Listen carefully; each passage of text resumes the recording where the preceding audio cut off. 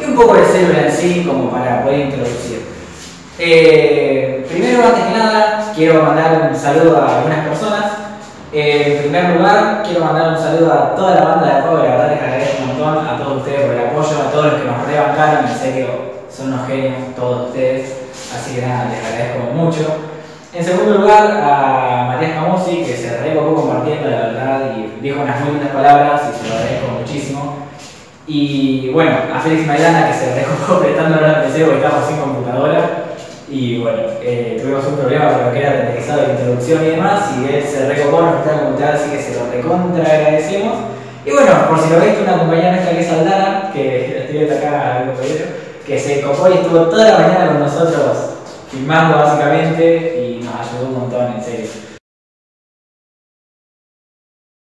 Es increíble antes de subir un video ya tengamos más de 200 suscriptores, 218 para ser más precisos. Así que los re, los re, en serio, les re agradecemos de corazón. Disculpen que hayamos tardado en subir tantos videos que queríamos asegurar la mayor calidad de videos y para eso, bueno, hasta que nos llegó el trípode y demás, para que esté bien quieta la cámara y que no sea una cosa que se mueve toda para todos lados, bueno, es por eso que tardamos un poco, pero que estamos. Bien, ahora sí, el tema que vamos a tratar hoy básicamente es organelas y células. Eh, antes de empezar a hablar bien de organelas, que va a ser el tema más específico vamos a meternos un poco con células.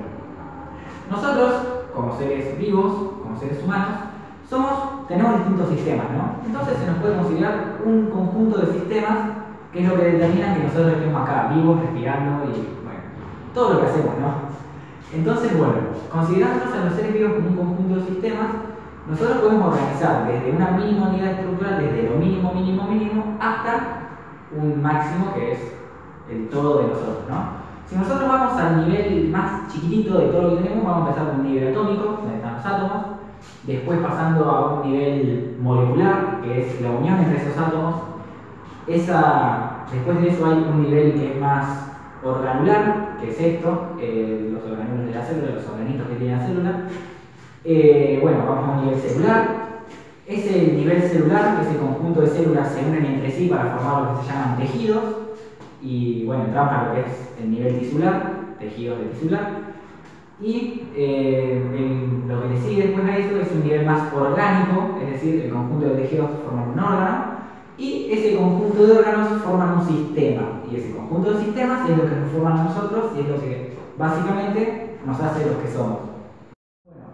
Considerado lo dicho anteriormente, habíamos hablado de un máximo nivel que era el nivel sistémico, es decir, todo ese conjunto de órganos. Bien, ahora vamos a delimitarlo un poquito más y vamos a ir un poco más específico. Habíamos dicho ¿no? que, volviendo un poquito para atrás, hay un nivel que era el nivel tisular, el nivel de los tejidos. Y ese conjunto de tejidos formaba los órganos, y ese conjunto de órganos formaba sistemas. Si nos vamos a lo mínimo de un tejido, a la mínima unidad funcional y estructural mínima viva, acá es esto, viva, nos vamos a encontrar con que lo más chiquitito es la célula.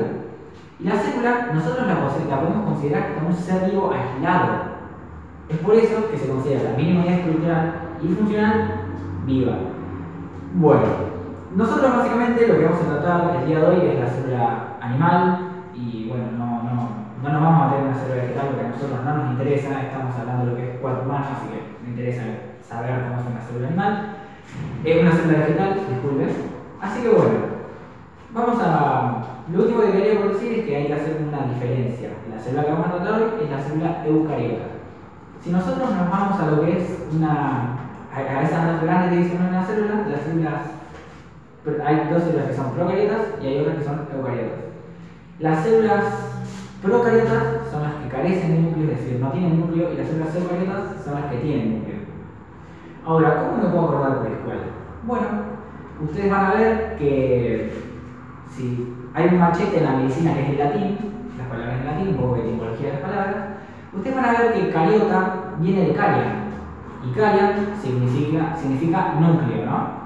¿Ves? Como Procariota, eucariota, cariota de caria. Entonces ella tengo machete, algo del núcleo me está diciendo. ¿Qué pasa? Eu significa verdadero, entonces eucarian, verdadero núcleo. Eucarian, eucariota, listo. Las células eucariotas son las que tienen núcleo. Y son las que se encuentran en nuestro organismo. Bueno, también hay células procariotas, que son las bacterias y demás, pero lo que conforma un órgano en sí son las células eucariotas.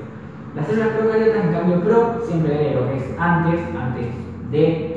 Entonces nosotros decimos procariotas y ya con eso nos estamos refiriendo a, ah, listo, estaban antes de haya núcleo, o sea, antes del núcleo. ¿Se entiende? Eso significa procariota, antes del núcleo. Entonces, eso significa que no tienen núcleo.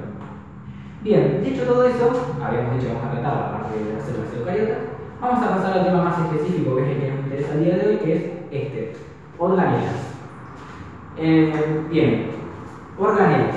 Así como nosotros habíamos dicho que éramos un cuerpo humano, básicamente, con órganos, la célula la podemos considerar un ser vivo aislado.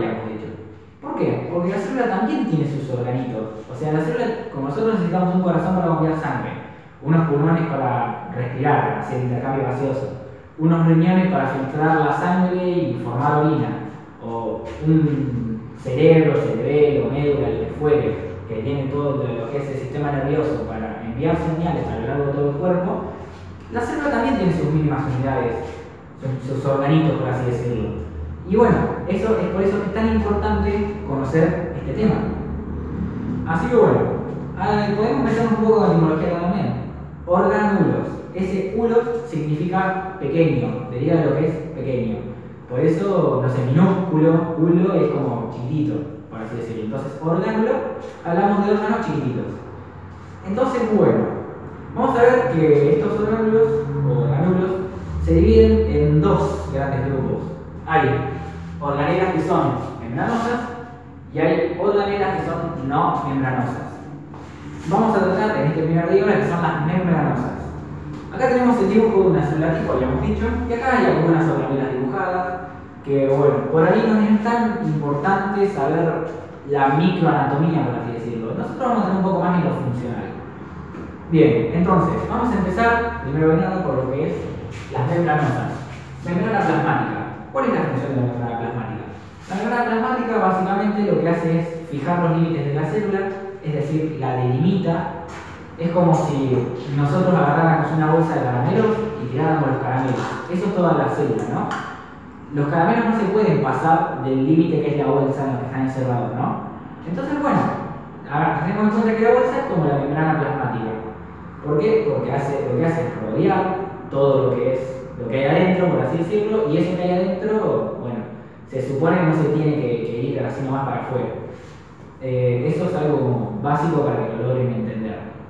También otra de las funciones que tiene la membrana plasmática es formar una barrera semipermeable ¿Y por qué es impermeable? Porque hay sustancias que sí se pueden mover a través de esa barrera, pero no puede entrar cualquier cosa y tampoco puede salir cualquier cosa. Esas son dos funciones básicas de lo que es una membrana plasmática, a grandes rasgos. ¿no? Vamos a tratar con mucho más detalle el tema membrana plasmática en otro video.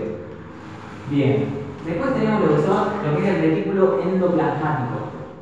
El retículo endoplasmático básicamente se puede dividir en dos grandes grupos, un retículo endoplasmático rugoso y un retículo endoplasmático liso. A nivel microanatómico, por así decirlo, por más que no lo vamos a tratar con mucho detalle, son más o menos iguales, pero tienen una diferencia y eso hace que tengan una función diferente. El retículo plasmático rugoso se caracteriza porque, bueno, son eh, sacos aplanados en forma de tubo, igual que el liso, pero tiene ribosomas adheridos a su superficie. Y al tener ribosomas adheridos a su superficie, eh, eso determina un cambio en la función, a diferencia del liso. Entonces, el de plástico rugoso lo hemos dibujado acá, bien que teníamos puntitos.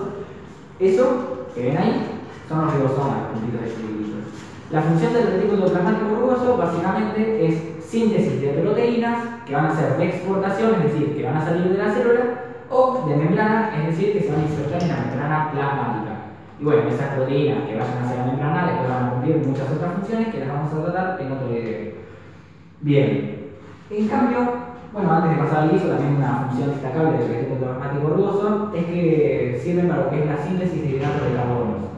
O sea, pueden sintetizar hidratos de carbono y bueno, creo que también hay libros que te pueden llegar a decir, que pueden llegar a decir que pueden formar lo que son glucoproteínas. A ver, hidratos de carbono proteínas que pueden formar glucoproteínas. Eso depende del En lo que respecta al retículo endoplasmático liso, que es este que está acá, el retículo endoplasmático liso básicamente es similar al retículo endoplasmático rugoso, pero lo que cambia es que no tiene ribosomas adheridos a su superficie.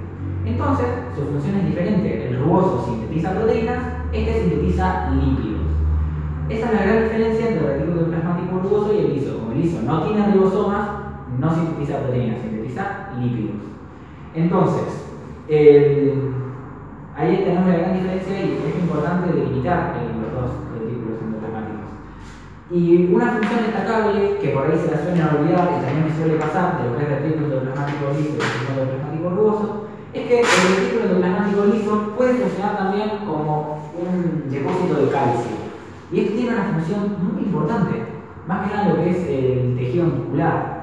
Porque, por ejemplo, para que un músculo se contraiga, tiene que sacar calcio acumulado y bueno, grandes cantidades de calcio están guardadas ahí en el retículo endoplasmático liso. Y es por eso que es tan importante conocer esta función. Y bueno, después también porque hay una gran interrelación con lo que son cascadas de proteínas que cubren, eso lo vamos a tratar mucho más adelante, así que por ahora no me interesa saberlo. Bien, prosiguiendo. Entre las otras moléculas membranosas tenemos lo que es el aparato o complejo de Golgi. El complejo de Golgi está dibujado por acá, es esta cosita que se ve que están liberándose como bolitas con bueno, el aparato de Golgi básicamente es una organela que se encarga de lo que es empaquetar sustancias, es decir, es como, a ver, para darles un ejemplo, yo soy un cartero y me gusta meter, no sé, tengo que meter cosas en una caja para entregarlas a una casa, ¿no? Bueno, el aparato Golgi hace eso. Necesito, no sé, llevar una carta, lo meto en un sobre y ese sobre lo mando a una casa. El aparato Golgi lo que hace es agarrar moléculas las guarda en vesículas, es decir, las empaqueta, y de ahí las manda para donde tengan que ir esas vesículas. Se pueden ir hacia la membrana o se pueden ir a cualquier lado, depende de, qué molécula esté manejando y dónde esté mandando. Así básicamente que el aparato Golgi concentra, empaqueta esas sustancias, las guarda en vesículas y las envía. Las manda a cualquiera de las células. Básicamente, esa es la función del aparato Golgi. También hay libros que les van a decir que sirven para lo que es síntesis de glucoproteínas y glucolípidos. Bueno, lo voy a matar a día por haberme cortado, porque no sé qué tenía que importante para decirlo, pero no importa. Estos errores se eliminan. bueno, prosiguiendo. Eh, habíamos dicho que forma glucolípidos y glucoproteínas. Esos glucolípidos o glucoproteínas van a formar después lo que es el glucocálix, que bueno, lo vamos a tratar un poquito más adelante. Por ahora ni lo toquemos. Bueno, lo que sigue son las vesículas las vesículas. Él ha dicho que el Golgi guardaba moléculas en pequeñas vesículas y que esas vesículas las manda, no sé, a cualquier sector de la célula para que bueno, esas moléculas lleguen ahí. Vamos a ponerles un ejemplo. ¿Vieron cuando ustedes van a un supermercado, por ejemplo, y compran algo? Bueno, ustedes la comida que compran en el supermercado, a mí me encanta comer, me encanta la comida, así bueno, comida siempre. Bien, las bolsas esas en las que guardan la comida, eh, hagan de cuenta que son las vesículas. Las vesículas son como bolsitas, son pequeñas membranas, son capas lipídicas, que envuelven esas sustancias y las transportan. Hagan de cuenta que, no sé, yo voy al supermercado, compro comida, la tengo que guardar en una bolsa. Esa bolsa en la que se lleva la comida son las vesículas. Entonces, analogía, ¿no? Las, la comida que compramos son las moléculas que se tienen que transportar y la bolsita es la vesícula. ¿Se entiende? Bien. Espero que hayan entendido. Si no, rebobínenlo 400 veces, no hay problema. Bien, prosiguiendo. Otras moléculas que son los, otras moléculas de OK son los lisosomas. Los lisosomas tienen una estructura parecida a la de las vesículas, tienen lo que es una capa lipídica, son como si fueran velocitas también, pero, pero, pero, pero, pero, hay una gran diferencia. Estas, estos lisosomas tienen orientados hacia adentro, hacia su. para se voy a dibujar para que se hagan una idea tienen, hagan de cuenta que esto es un lisosomas con mucha imaginación, tienen como orientados cositas hacia adentro, ¿no? Estas cositas tienen orientadas hacia adentro son más que nada glucoproteínas que lo que hacen es evitar justamente que bueno, haya un daño a esa membrana plasmática. ¿Qué pasa? Estos lisosomas ahí adentro lo que tienen son enzimas hidrolíticas. Tienen muchas enzimas hidrolíticas. ¿Y para qué sirven? para meter sustancias y degradarlas. Esa es la función del lisosoma, meter sustancias y degradarlas. Todo lo que nos sirva lo mandamos al tacho de basura. ¿Quién es el tacho de basura? El lisosoma. Así que acuérdense de eso, acuérdense del tacho de basura y piensen, ah, es el lisosoma. Bien. Entonces, pero esto es un desastre. Bien. Lo que sí son los peroxisomas. Los peroxisomas, básicamente, son unos orgánulos chiquititos, unas pequeñas organelas, que lo que hacen es participar en lo que es detoxificación de la célula, o sea, sacan compuestos tóxicos. Peroxi viene por lo que es el, bueno, un compuesto muy tóxico, muy nocivo para nuestras células y que creo que lo producimos, no creo, no, lo producimos de hecho, es el peróxido de hidrógeno, es decir, lo que todos conocemos como agua oxigenada, ¿no? H2O2, ese es el peróxido de hidrógeno. Bueno, estos peroxisomas tienen encima que es la glutatión peroxidasa y bueno, no interesa, pero transforma a esa sustancia nociva, al peróxido de hidrógeno, el agua oxigenada, en algo que no le va a daño a la célula. Es por eso que la de, como que le saca los tóxicos. Esa es la función del peroxisoma. Bien, mitocondria. La mitocondria es una organela que me gusta mucho, la verdad me encanta la mitocondria. Y bueno, es porque es como la central eléctrica de la célula, ¿no? Es decir, la mitocondria es donde se produce energía. La moneda de intercambio energético, o sea, la monedita con la que nosotros tenemos energía, es el ATP, adenosina trifosfato. Esa es nuestra molécula energética. La vamos a tratar un poquito más adelante, vamos a explicar por qué es energética y demás. Pero de momento ustedes sepan que la mitocondria es la central energética de las células donde se, produce energía y donde ocurre la respiración celular. Vamos a tratar lo que es bioenergética y respiración celular un poquito más adelante en otro video con mucho más detalle. Prosiguiendo, la última organela membranosa que tenemos es el núcleo. El núcleo básicamente es donde se contiene el ADN. Es membranosa porque está delimitado por una envoltura nuclear. Acá se llega al núcleo. Ven que está como delimitado por una envoltura nuclear. Y bueno, es para que el ADN no se nos escape de ahí, ¿no? Lo tenemos concentradito en un lugar. Entonces, ahí en el núcleo van a pasar, bueno, después vamos a hablar un poco mejor de los procesos que ocurren con el, con el ADN y demás. Pero bueno, es como que sirve para delimitar eh, y concentrar el ADN. Obviamente también concentra ARN y demás. Y bueno, pero eso lo vamos a tratar un poquito más adelante. Y vamos a ir avanzando de a poquito para que ustedes vayan de lo más básico a lo más complejo. Esa es nuestra intención.